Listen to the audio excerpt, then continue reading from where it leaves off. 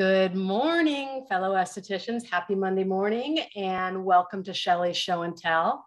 I'm Shelley Hancock and I so, so appreciate you taking your morning to spend with me. Um, last week, if you'll remember, the, you know how I like to do my sayings from a book. Last week, we talked about what comes out of our voice, you know, what comes, um, what we speak about comes about and then that little voice in our head as well. And I actually think that little voice is even more powerful because that voice generates the voice that comes out of our head. So if we start, excuse me, comes out of our mouth. So if we start with positivity, that's what's going to come out of our mouth. So I wanted to remind you of yes of last week because this week kind of goes along with that. This is from the charisma myth. I really love this book. This is a really good one. When your brain spins negative scenarios, remind yourself that you may not be getting an accurate perception of reality. Your brain might be following its negativity bias, playing up some elements more than others, or omitting some positive, positives entirely. Just like an optical illusion that tricks your eyes into seeing things that aren't real, your mind can experience thought illusions that make you feel certain an inaccurate thought is true. Whoa. Okay, that's that's deep, isn't it? Um, like I said last week, I can do this whole motion picture in my head of something negative, and I really feel like it's real. But when I stop myself and say, "Is this real?" 99% of the time, it's not. Jess, do you want to pipe in on that and give us some of your wonderful insight? I think it's really important to recognize that we look at the world through a lens that we perceive is true. And I like that you just said that. It's an important question to stop and ask yourself is this true? Um, is it even real? And where could this thought or idea be, be coming from? Because sometimes our perception is just that it's a filter which we have had all of our lives. We're looking at the world and we're placing a voice or a monologue onto those around us before we even give them a chance uh, to speak their own thoughts. We have the prejudgments, or we have that limitation or fear, or just judgment. We assume that that's the automatic. So when you take a second and just be like, is that true? And take a deep breath and slow down and just be like, okay, you know, you can think of someone in your life that you automatically know, you think you know what they're going to say. And that's again, that's your inner monologue, which is one of our senses, you know, sight, taste, smell, inner monologue. That's another one of the senses that we don't always realize we have. So when you do what Shelley's saying and just ask yourself, is that true? Before you go into a situation with one of your clients, you have a chance to be like, okay, maybe they do want an opportunity to know about this or to experience my knowledge. Maybe they do think I'm an expert. I don't know yet. And it's just an opportunity to give our people around us a chance to see the best of us without our own preconceived notions. Tell a different story in our head, and the outcome is going to be different. That's 100%. what I believe. Yeah. Thank you, Jess. Jess is Shelley Hancock Consulting's Chief Success Officer and my very good friend. We are just, we just, we just love to get together and just uh, dive into things. It's really fabulous. Today, we're actually going to talk about uh, what I do to test equipment that I bring to you and a little bit about knockoff equipment as well. So my journey in um, kind of bringing equipment to all of you started many, many years ago. I would probably say around 2007. At that time, I would buy equipment.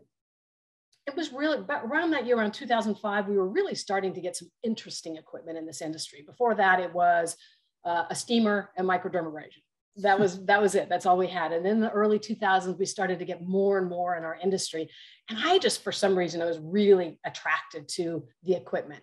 So i started purchasing full price pieces of equipment and testing them and seeing the results on my clients and kind of getting excited about it. And then uh, i don't know how or why this happened but other estheticians in my area uh, I started talking about it and they started buying the pieces of equipment. And, and I had this little aha moment like, wait a minute, I'm selling equipment for these companies, not even really knowing it.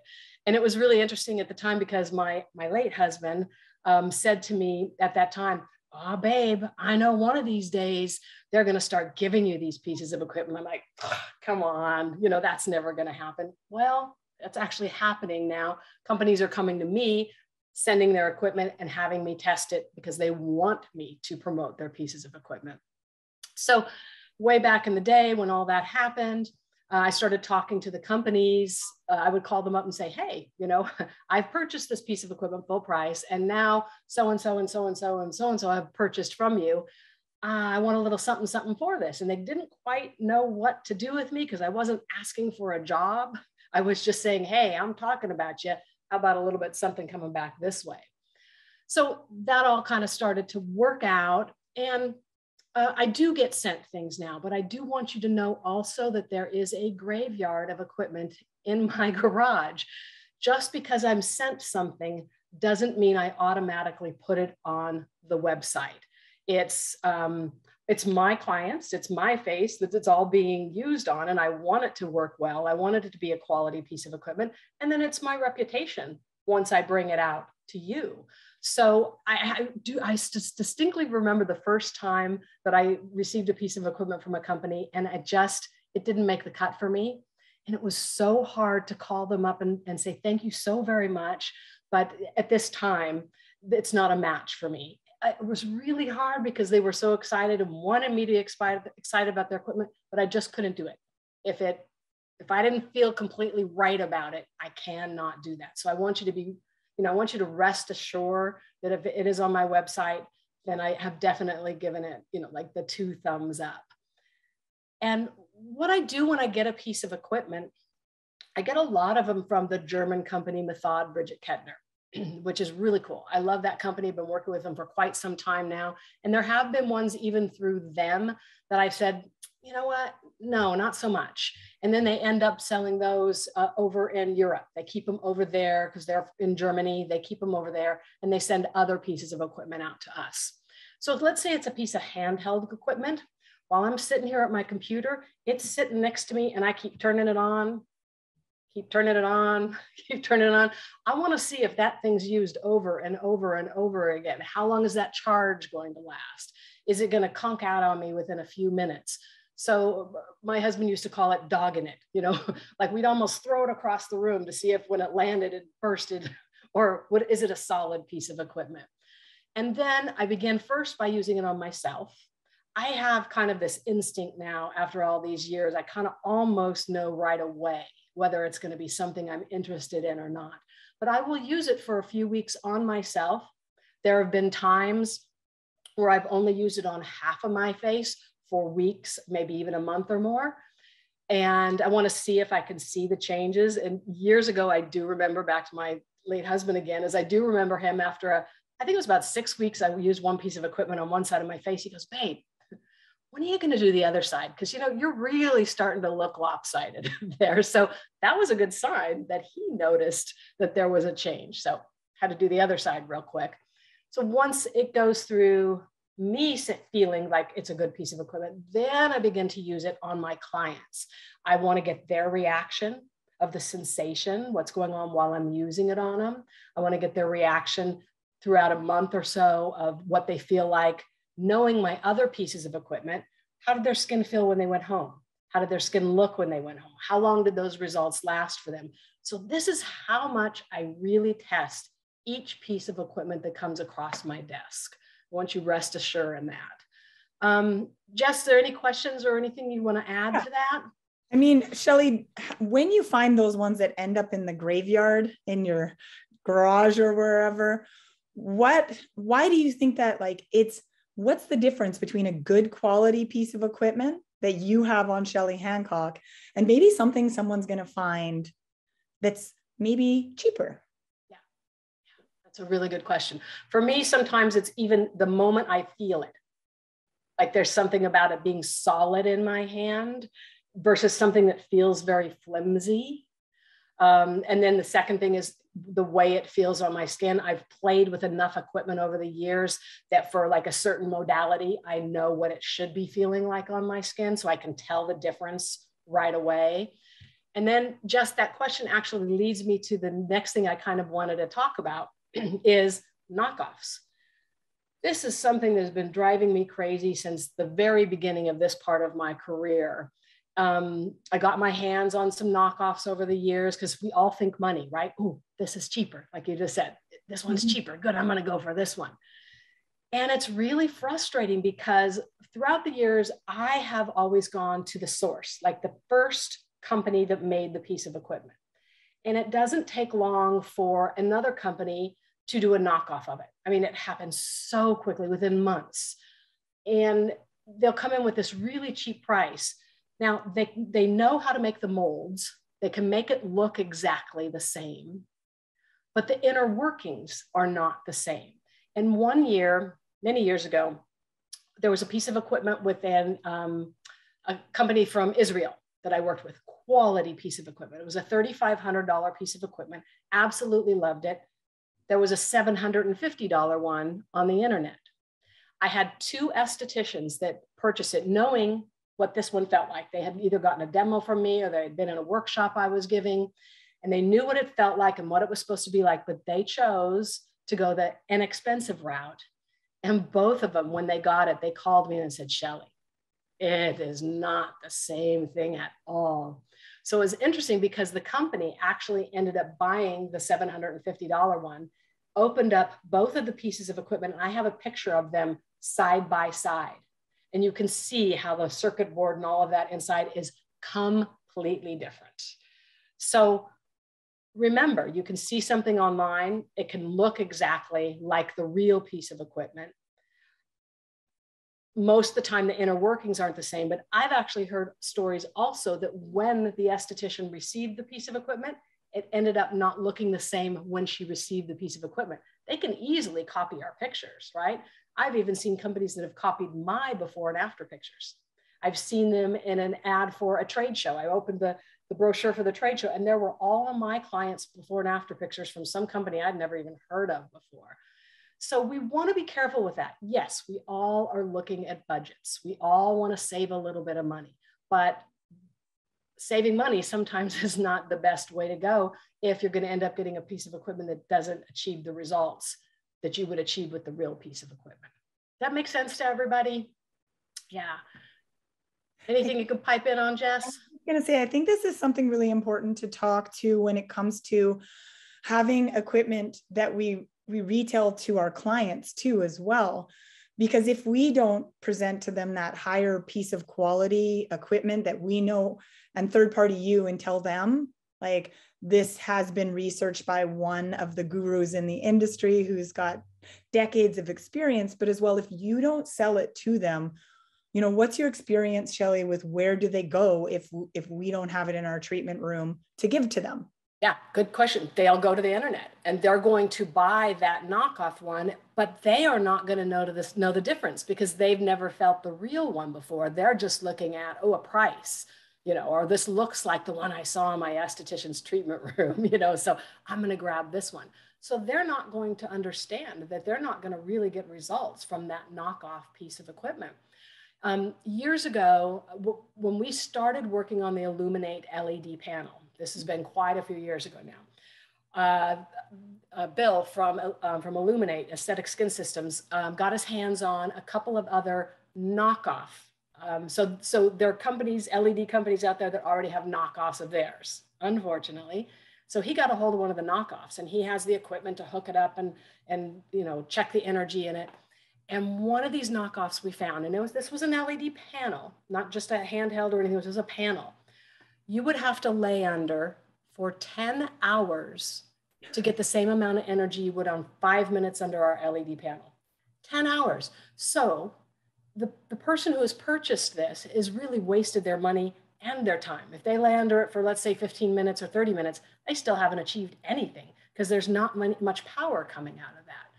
So we really want to encourage our clients to purchase from us versus going out on the internet because you're going to bring them that quality piece of equipment that is going to achieve results. I think when they purchase from us too, and they can get that extra piece of equipment, there's that trust that's built because you're like, I'm not afraid to help you have these tools to take home to use. And so that you can be independent and it's high quality and they actually get results.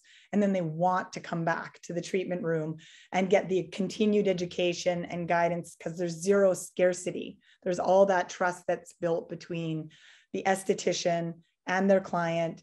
And if they don't get it from you, then they're going to go find it somewhere else and it's not going to be as good of quality. They're going to waste their time and then they're also going to lose their trust that it even the entire industry works. Right. So, just do you feel it is a good idea to? I can see both sides of this. Good idea to tell the client about the knockoffs out there and that what you're going to sell them is the quality one, or are they going to think, oh, she's just trying to get me to buy from her and hers is more expensive than that one I see out there online? I think we go right back to what you brought up at the beginning. It's again not our place to worry about what they might think. You know, it's our place to give them what we know is best.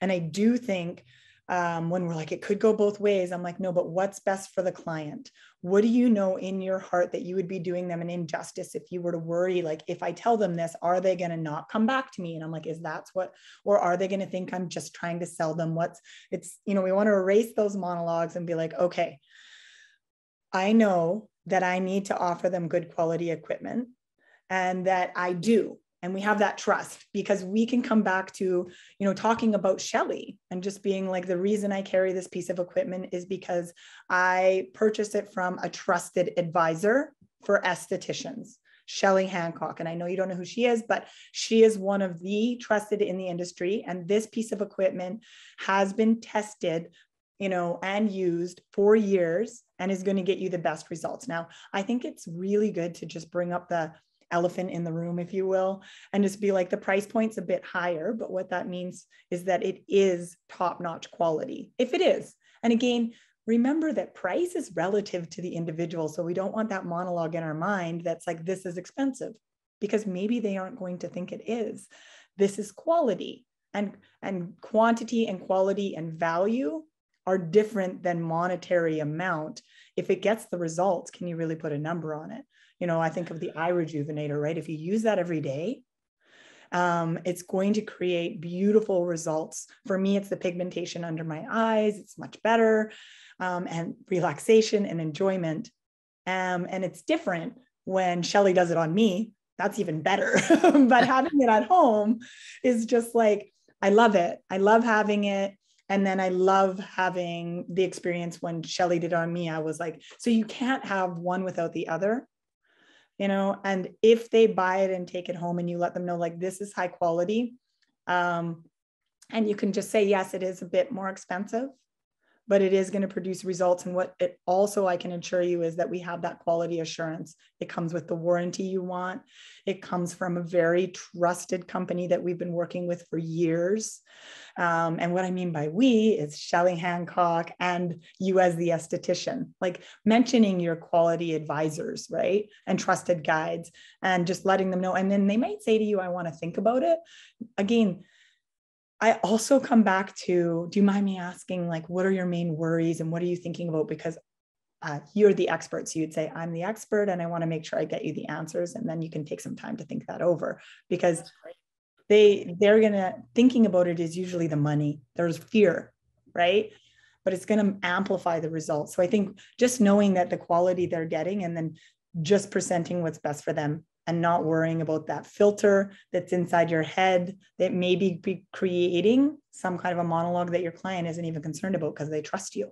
I think, Jess, you're, you're spot on with that. I, I, I, mm, I can't see all of you out there, but I think we have a hard time when they say, oh, no, I think I want to wait. You know, let me think about it. What do we usually do? Oh, okay. I'll, you know, I'll see you next month. And we hope that we can sell it to them next month when they come in. But I love that asking them what their you know opposition is so that you can get the best answer to them and maybe help them better make that decision. Having no fear about that not having that monologue in our head about what they're going to say. That's that's big. Yeah i think it's even just being in that approach do you mind me you know, helping you a little bit with what, because what they're maybe thinking is that thing we don't want them to do. So it's better to, to step up and be like, I always agree. I'm like, absolutely. I understand you want to think about things and I respect that. But do you mind me asking, what are your main concerns and what are you thinking about? Because they're thinking, I'm going to go home, I'm going to jump online, I'm going to check out Amazon and I'm going to see if I can find that one that's $15 cheaper. And you're like, do you do you really want to do that? And we know they don't but they don't know any better yet. So we just want to help them by getting rid of our inner fear that they're going to think we're trying to be the for you know salesy and that's not what it is but just to be that trusted advisor and be like i'm going to show up in my confidence and just be like, do you mind me asking? And do you mind me helping you make sure that we make the right decisions? And then also, uh, you know, just promising me that while you think about it, I don't want you going out there and buying one without coming back to me first and checking in with me because I want to make sure you get the best thing for you. And I might be able to help you make the right decision and make the best financial investment. As your trusted advisor, can you promise me you'll do that? Ah, I love that. Spot on. Spot on. Okay, we're already already finished for today. This goes so quickly. Um, in a couple of weeks, we are actually going to have an extended version where Jess is going to really go into one week. We're going to do sales, really like what she was just talking about. We're going to go in depth. We're going to do a full hour. And then one week, we're going to talk about the cool products for a full hour. So make sure you watch my schedule for that because that's going to be fabulous. Okay, everyone. Thank you so very much, very much for joining us and go out there and make it a great day.